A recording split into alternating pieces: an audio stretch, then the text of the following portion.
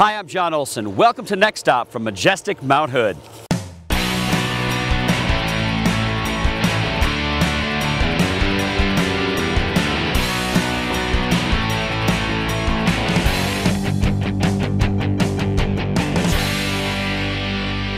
Oregon's Mount Hood Territory is one of the most spectacular regions in the world.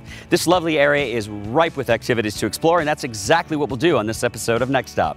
We'll mountain bike, we'll kayak, we'll snow ski, we'll golf, we'll explore a lovely farm dinner, and one of the most incredible music festivals you'll ever see.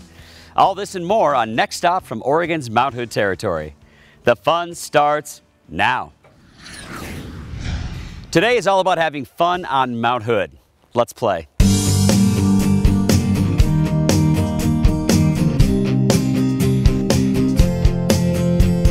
So Steve, I've gotten to do a lot of very cool things on Next Stop, but I have never skied in August. It's the place to be. It's really about the only place you can do it, unless you're in the southern hemisphere. So, It's the only place in North America you can ski, right? right. That's so cool. Obviously, we're not alone. There's a lot of people here. And there's probably at least 15 camps up here today. Um, over there, all of the the race camps, they're running lanes, getting better at running gates, and uh, usually most of them are competing. So you're saying pretty much anybody who's anybody in the skiing or snowboarding industry makes a trek to Timberline in the summer because this is really the only place they can train.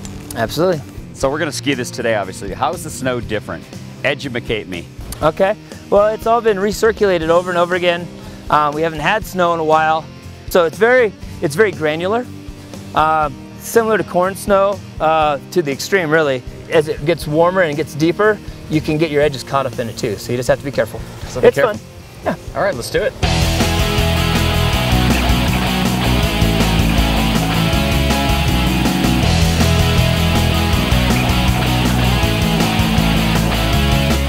So there's one more thing I can check off my bucket list. That was awesome. Yeah. You got a couple miles of skiing in this morning. Good job. It was good. And then you can't come to Timberline and not talk about the lodge. This is like legendary. Right. It's a historic monument, and uh, I love coming up here and enjoying the pool. This is awesome. Mount Hood right behind you. Yep. This doesn't get any better. Nope. This is where I like to end the day, given the opportunity. Well, thanks for your time today, buddy. It's my pleasure. We're off to Mount Hood Ski Bowl to continue our day on Mount Hood.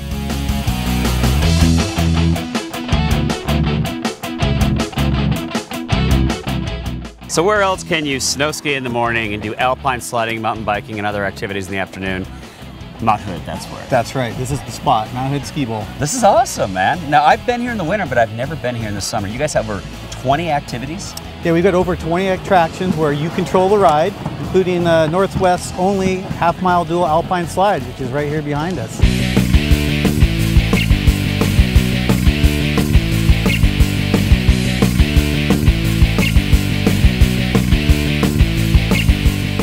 So I now have a new appreciation for the Olympic losers. That pretty fun on that alpine slide, wasn't it? That was a blast, and you got cruising, man. That was a blast. Yeah, good times. Now mountain biking. This is uh, this is the easiest run that you guys have here. It doesn't look that easy to me. right, this is our, our four acre free ride park. We've got three trails, uh, easiest, more difficult, most difficult. We're about to go down the easiest because I'm in the same boat as you. I'm not quite, you know, there yet. Let's do it. All right.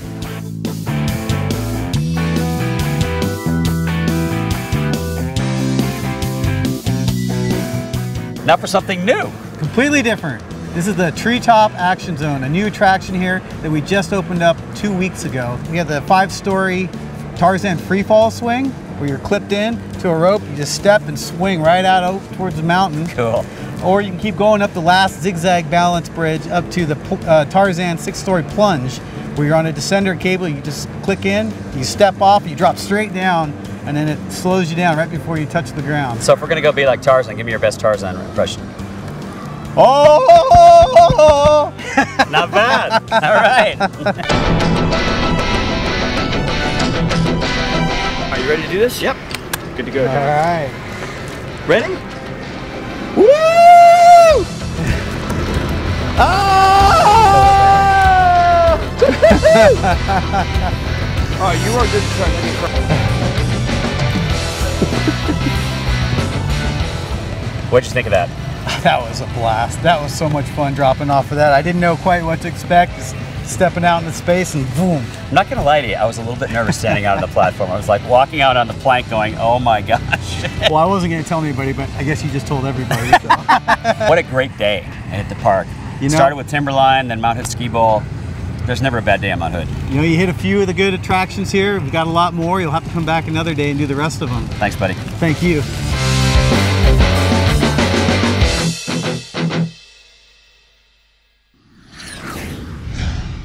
Up next, we kayak to stunning Willamette Falls and enjoy some of Oregon's bountiful gifts.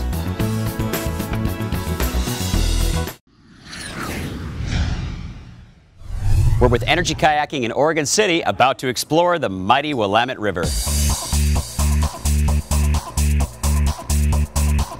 So welcome to eNRG Kayaking. My name is Sam Drivo and uh, we're down here on the wonderful mighty Willamette River, about a mile below Willamette Falls and we're just gonna paddle up to, to the falls and in the process check out a couple of the great sights along the way. When you're sitting in the kayaks, if your knees are splayed out to the side, it's easier to separate your upper and lower body. Beautiful down here. Yeah, it's nice out, huh, John? It's gorgeous.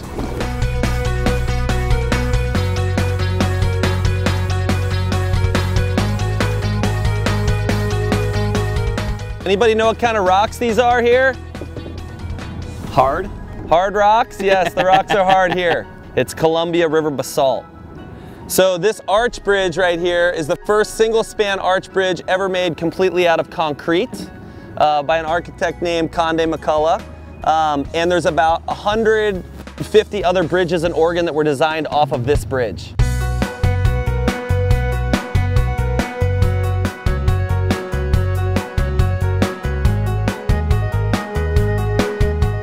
This is like the most historically significant public works project west of the Mississippi, maritime anyway.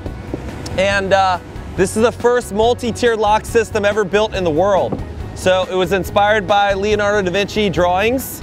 And when we decided we were gonna build like the Panama Canal, all the engineers came here to learn about how they did it. This is a man-made channel that goes from the top of the falls to the bottom. It's a half a mile or a mile, you know, long and uh, three quarters of a mile long.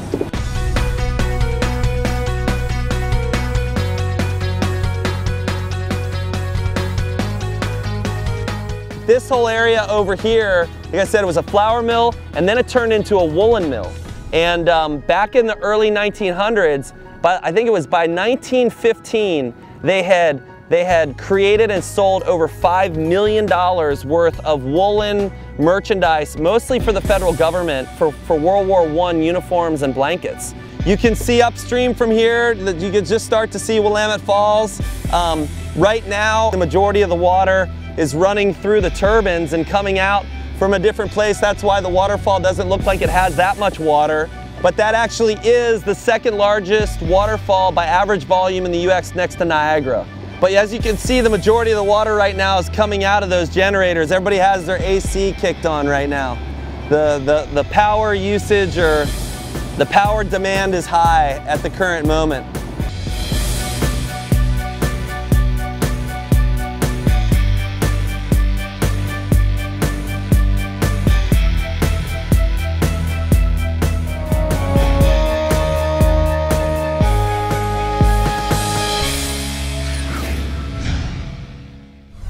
At Dinners in the Field, a wonderful event hosted at Out in the Garden Nursery in lovely Clackamas County.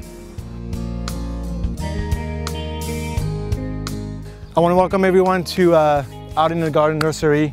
The, the idea behind those dinners started last year. Um, after we opened our restaurant for four years, we decided to take our food on the road a little bit. And what better place to take it on the, in the Clackamas area region where there's amazing farms, amazing winery. So we try to source as much as we can locally.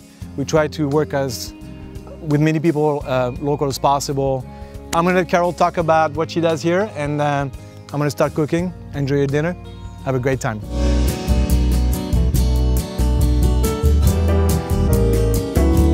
When we moved in, the house, the shop, and the main barn were here and, and the trees.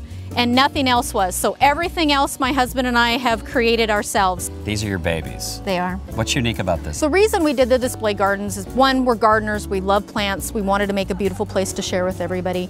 Um, but it's also a great tool for selling our plants because I can show you this plant at a mature form, what it's going to look like, where it does well. What's the difference living out here? This is kind of just so peaceful. Uh, yeah, it's, well, that's the best thing. And well, I was raised on a 500 acre tree farm, and here we are 11 years later with this. Now you mentioned goats. Yes, I want to meet the goats. goats. Okay, we'll go meet the goats. Do they all have names? Yes, of course they do. This is course they Emma. do. Hi, Emma. This is Emma. This is Scotty. So they're gonna fight over you on who gets the gets rubbing and loving. I'll take Emma. You have some amazing neighbors just across the street, Rossi. Posse Elk Farm. Yep. My husband and I are actually official elk wranglers. We help them handle the elk if they need or emergencies. Or I was over this spring tagging calves.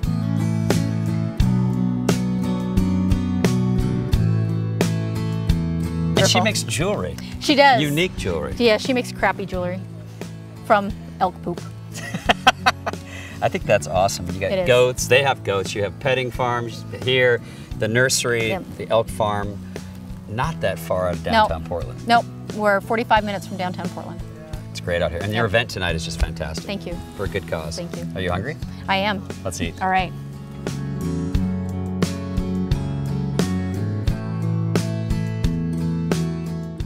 Mary, this is what it's all about. Thank you. It's a beautiful night and a very beautiful event. Locals getting together, supporting the local farmers, having a good time in a beautiful setting. Now, Talking you mentioned how you met Chef Pascal and how this sort of synergy just kind of happened. Yes, um, we were um, finding, learning about uh, different ways that farms stay viable in Oregon's Mount Hood territory. And he mentioned that he had tried a farm dinner. And so from there, the idea kind of blossomed. And what a great combination to be able to come and try some of the food that's grown here in the area and also to try some of the beverages that are produced here. Well, congratulations on your success. Oh, well, thank you very much. I'm going to go try some of the food and try some of the beverages. I think we should. Thanks, Mary. Yes.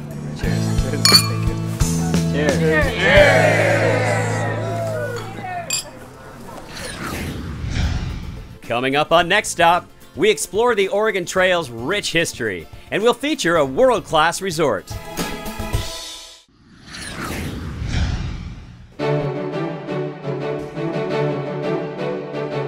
We're in Oregon City at the end of the Oregon Trail Interpretive Center. Before we talk about the end of the Oregon Trail, Missy, let's talk about the beginning, which kind of is what this represents. That's right. We're, we are standing in Independence, Missouri. Um, this part of the room is all the things they would have to leave behind. Oh, I'm, and this is all the stuff they need to take with them. This, these things right here are for one person, all those increments. 75 pounds of bacon kind of stands out to me. I kind of like bacon. bacon makes everything better, right? you could make it if you had your bacon. So, Missy, how long did it take to get from Independence to Oregon City? Six months. And the way they knew when to leave, they had to do with the grass in Independence because they wanted their oxen to have a lot to eat, good food to eat as far as possible before they had to start looking for their food. It's the end of the trail because we're the only land claim office west of the Rocky Mountains. Even San Francisco had to come up here to file their plot plan. So, I love how interactive this is. You've got Lincoln Logs over there, you have tablets for people. This is really a self guided tour.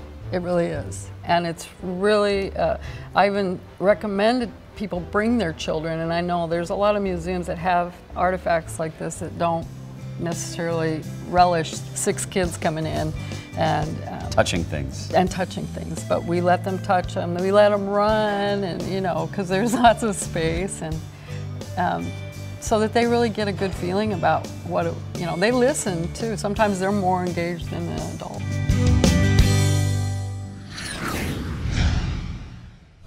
Next Stop would like to thank its travel partner, Alaska Airlines, which serves over 100 destinations from Alaska to the lower 48 and from Canada to Mexico. Live a more exciting life through travel and explore more and spend less at alaskaair.com.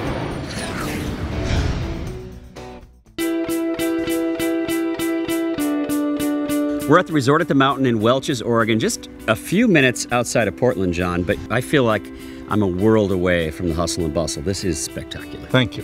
Well, it's the first golf resort in Oregon, and it's the only mountain resort in all of Oregon. You're, you're full service. You've got a really nice spa. We checked that out today. Right. It uh, we encompass, you know, uh, 284 acres. We have three golf courses, three nines. We have two restaurants, two bars, uh, 15,000 square feet of indoor meeting space. We have uh, uh, croquet, we have uh, lawn bowling, we have a wedding lawn. Uh, the Salmon River runs right by our golf course, and we have the Weeburn, which is a spawning salmon stream.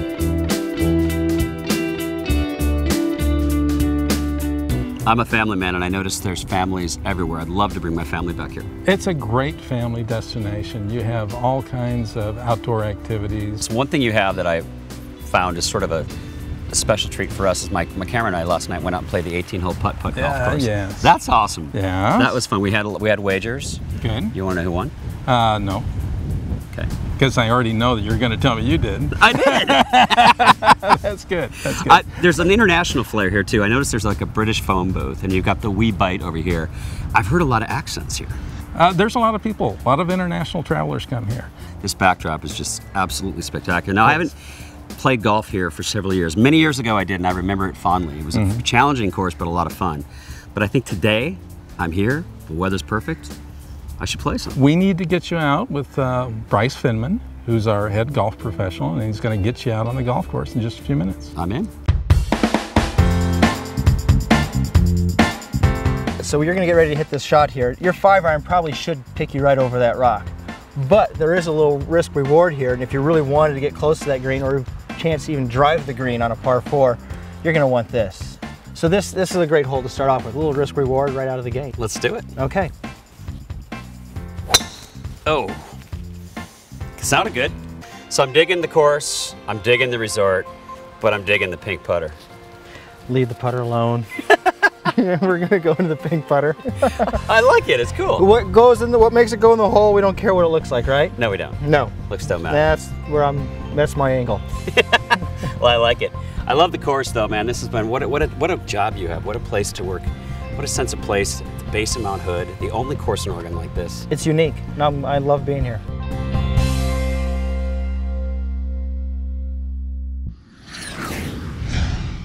We've attended many festivals around the globe, but none as colorful as the one you're about to see on Next Stop.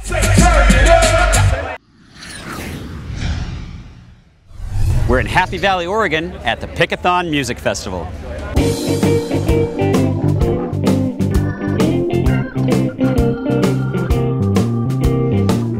Very happy to introduce the founder of Pickathon Music Festival. This is Zale. Zale, you founded this whole thing, man? It was a small picnic, about 90 people when we started. No way. How many years ago was that? That was 16 years ago. As we looked at this giant space, the other six venues are also musical rides in a lot of ways. One's deep in the woods out here. Another one we built as a postmodern industrial structure with a PSU architecture department called the Tree Line Stage. Cool.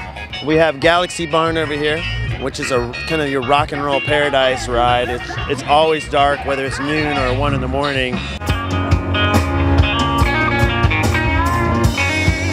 Everything's different, man. You have so many different feelings going on here, so many different moods, and the people, the, the people going here, everybody looks so colorful. This is one of the most colorful festivals I think I've ever been to. That's great. I mean, we have high praise. We have a lot of bands who played last year and previous years. They're on vacation here. So that's kind of the highest compliment for us is that they would go off a tour or take breaks from to just travel back to come to the festival to see music. So we that's been it's been really fun. We don't take it lightly. I've never been to a festival of this size, especially where I see so many kids and everybody's having a good time. It's about the little things. It's about having free water and not too many people and all the things like shade and, and stuff to go on for kids and seven like kind of alternate reality kind of stage spaces that are all fun to wander between.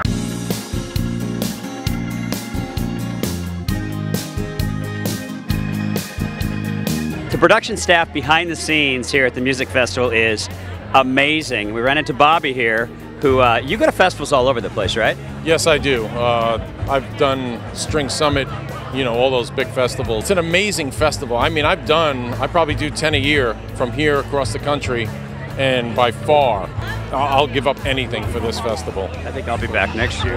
Tell us about what you got going on here. This is awesome. Uh, this is a jib that I built uh, about four years ago. Uh, I came out from New York. I worked jib, you know, here and there, and I said, you know, I want to build one. You know, with this, we're we get the overhead shots. Uh, you know, anything that regular cameras on the floor can't get, I kind of come over the top during, you know, guys, you know, jamming out on their guitars across the crowd. So it's, I mean, how do you beat it?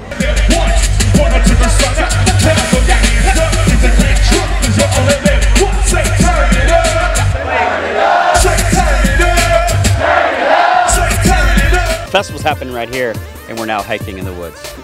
That's part of that alternate reality. Like when you spend time in any of these seven venues, you'll feel like you're on a slightly different planet. You walk out to the next planet and you're like, whoa. Now I love that there's there's no trash. Tell us about that. Um, we have these cups that we sell or you bring from last year and you drink anything out of them. Your responsibility to kind of carry this around. And then we have a food token system where you buy a token or your dishes, you give them to a vendor. When you're done eating, you take the dirty dishes to our dishwashing station. So there's nothing being thrown away, no biodegradable, like, you know, everything's being washed. We've been to a lot of festivals, but none as eclectic, entertaining, and colorful as the Pickathon Music Festival.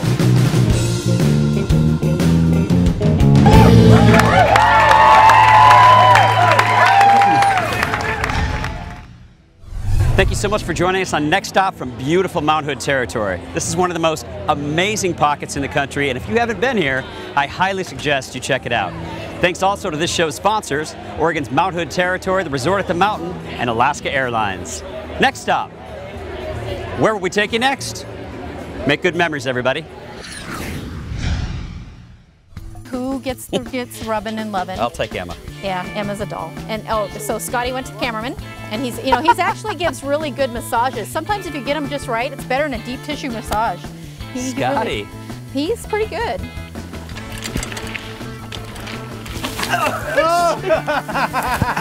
Woo! Blooper!